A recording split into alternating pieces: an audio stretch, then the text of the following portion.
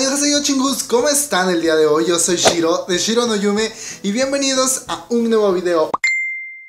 Hoy toca video de noticias, la verdad es que me atrasé mucho con este video.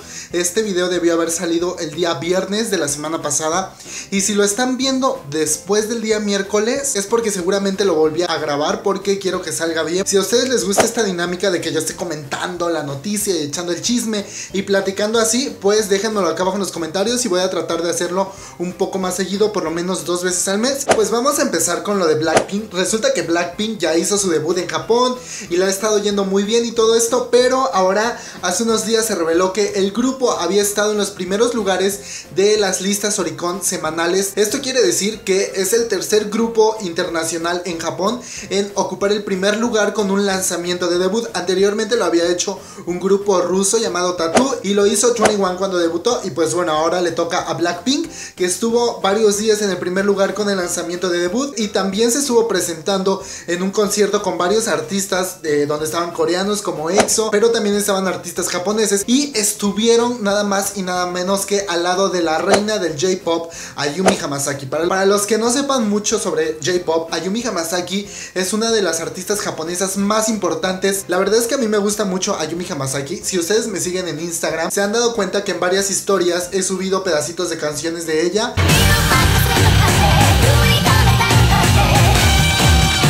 eso es lo que está sucediendo con Blackpink. Otro tema que ha estado sonando dentro de estos últimos días, perdón, tengo mi tacita de café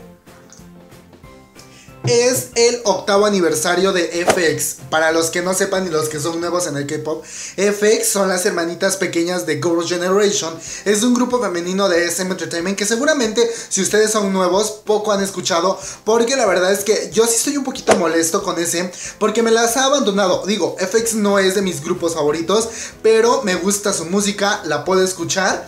Y me las ha abandonado, no han sacado nada nuevo, como que ya no me las está promocionando. A cada una me las dejó por ahí. Cristal estaba grabando un drama, creo que una de las integrantes, Victoria o Luna, no recuerdo, participó en SM Station. Ember también estuvo participando en Station el año pasado, pero de ahí a que estén haciendo algo relevante o algo como grupo, no, no han lanzado nada. Pero el día 5 de septiembre cumplieron su octavo aniversario desde su debut. Ellas debutaron el 5 de septiembre del 2009 con el sencillo La Chata. Otro tema que estuvo sonando en estos días es que les preguntaron a los coreanos, oigan, para ustedes, ¿cuáles han sido los artistas que llevaron al éxito a sus empresas? Dos empresas encargadas como de hacer encuestas e investigación de mercado se dedicaron a preguntarle esto a los coreanos y pues surgieron tres primeros lugares. Dentro de ellos, el primero se lo atribuyeron a Boa, que si ustedes saben es considerada una de las reinas del K-pop, porque cuando ella debutó y empezó a hacer su trabajito allá en Japón,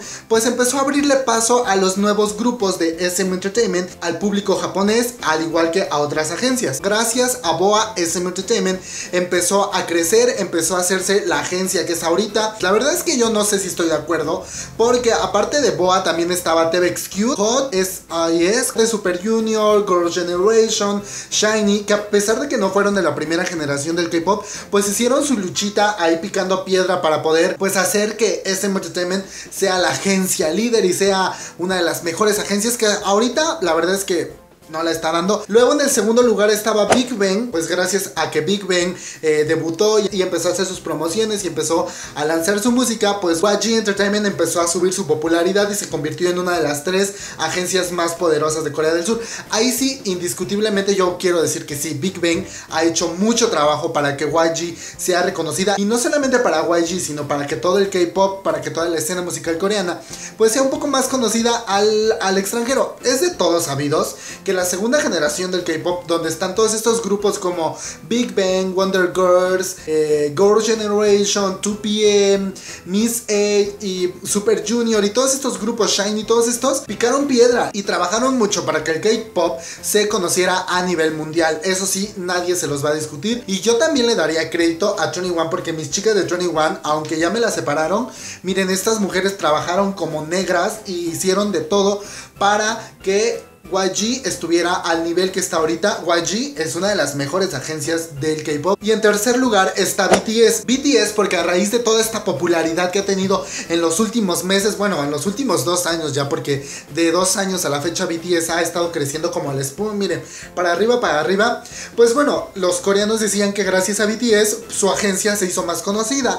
Su agencia ha tenido mucho éxito e incluso estaba leyendo hace unos meses atrás que las acciones de Big Hit han aumentado muchísimo dentro del mercado musical. Y no es para menos, BTS ahorita es el grupo del momento, es el grupo masculino de K-Pop más famoso en la actualidad. Nada más para muestra, logró superar el millón de preórdenes de su nuevo álbum que va a salir el 18 de septiembre. Es número uno en Amazon. Y ya que mencionamos a EXO hace ratito, resulta que ya lanzaron imágenes teaser, el teaser de su video musical para la versión repage de su nuevo álbum que se llama The World, The Power of Music. Y este sale el día, dejen ahora verán, les digo que sale el 7 de septiembre. Ay, no, ya salió, ya salió el álbum. Hoy estamos a 5, esto lo estoy grabando el día 4 de septiembre en México, pero ya es 5 de septiembre en Corea del Sur. Ah, pero sale hasta las 6 de la tarde. Bueno, ya está a punto de salir. Cuando ustedes estén viendo este video, el álbum ya salió y el video musical, entonces voy a hacer reacción. Pero su primer presentación es en M Countdown el 7 de septiembre, o sea, quizás el día que estén viendo este video. Pero resulta que ahorita ya ha publicado algunas imágenes. La verdad es que yo ya vi el teaser, se ve bueno. Siento que tiene mucho efecto visual, como mucha pantalla verde, mucho filtrito por acá, mucho filtrito por allá. Pero lo que sea de cada quien, los integrantes de EXO se ven guapísimos. Y ahora nos vamos un ratito del lado de los dramas. Mi hermoso Lee Jong-suk, labios carnosos, y la Susana lanzaron imágenes para lo que va a ser su próximo K-drama que se llama While You Were Sleeping. Eh, el drama, dice, el drama narra la historia de, un, de una joven llamada Nam Hon-jo, Susie, que puede ver el futuro a través de sus sueños, y un fiscal llamado Jun Jae Chang, que es Lee Jong-suk, que, que, intentará evitar que ocurran los acontecimientos de los, de los sueños que ve el personaje de Susie. Como que últimamente están muy de moda los dramas sobre policías, sobre abogados, sobre fiscales, porque ahorita estoy viendo Suspicious Partner y miren, chingonería de drama. El drama se empieza a emitir después de Into the War Again. Y ahora, por último, esta noticia estaba esperando a dárselas. La voy a leer porque no la he leído y vamos a...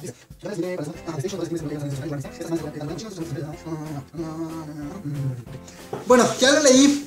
Este, me emociona porque mi una hermosa, huesos flaquitos, va a estar participando nuevamente en la segunda temporada de SM Station. Recordemos que la plataforma Station la creó SM el año pasado donde sus artistas y artistas invitados estarían lanzando música en colaboración cada semana. El año pasado sí estuvieron lanzando, miren, se agarraron voladitos y constantemente creo que como dos semanas o tres nada más les falló, pero de ahí estaban lanzando constantemente música y creo que eso personalmente hizo que me hartara un poco de SM porque yo decía, ay, cada semana hay algo nuevo y, eran puras baladas. O no era como el boom o el punchis o el sonido de SM. Entonces era como más balada, más todo. Y hubo unas canciones que sí de plano no me gustaron. Y bueno, ahora va a regresar con una nueva canción que se va a llamar You Are My Star. Que va a tener una versión en coreano y va a tener su versión china.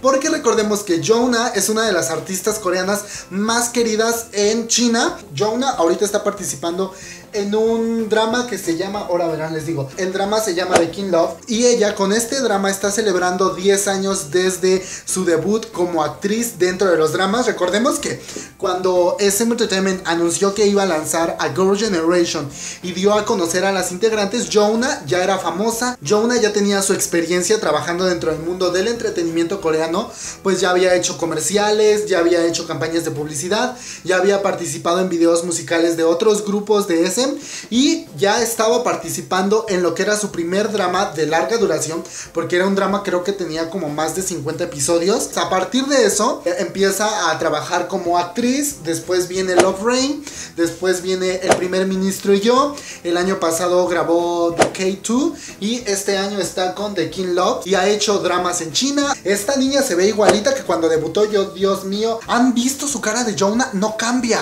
se ve igual, ya son 10 años de Core Eh, y, esta mujer, igual, yo la veo. Y pues bueno chingus, hasta aquí el video del día de hoy. Espero les hayan gustado estas noticias. Grabé como 30 minutos. No sé de cuánto vaya a salir este video. Si se dan cuenta, este video no es tanto como de noticias. O sea, sí son noticias, pero las comentamos. Como que les doy mi opinión. Sí, estos videos ya los hacía yo desde antes, pero uff, hace como un año, hace como dos años que ya no hago videos así comentando las noticias y no me acordaba que es muy cansado y que se cansa la voz y ya me acabé mi café. Pero este, si quieren seguir viendo más videos como este, díganme y de verdad cada que yo tenga un tiempecito, junto mis noticias que sean las más sonadas y las comentamos y echamos el chisme acá en, en, el YouTube. Pero no se pierdan el viernes, ya el viernes subo video de noticias normal como lo he hecho. Si tú eres ARMY y te quieres enterar de más videos sobre BTS, sobre noticias y lo que está sucediendo sobre el grupo, aquí abajo en la caja de descripción te voy a dejar un link a mi canal sobre noticias de BTS para que vayas, te suscribas y veas el video que subí apenas. Y también te voy a dejar el link a mi segundo canal que es de blogs de viajes. Por si a ti te gusta viajar o quieres conocer alguno de estos lugares, ahí te doy como recomendación recomendaciones y tips. Ahorita ya estoy con los videos que grabé en Guadalajara, y los voy a empezar a editar. No olviden compartir los videos de este canal, suscribirse, darle like. Aquí abajo hay un botoncito rojo que dice suscribirse, al lado está una campanita, le pican para activar las notificaciones y que así YouTube les avise cada que yo suba un nuevo video. Y pues nada, nos vemos hasta el próximo. Bye bye.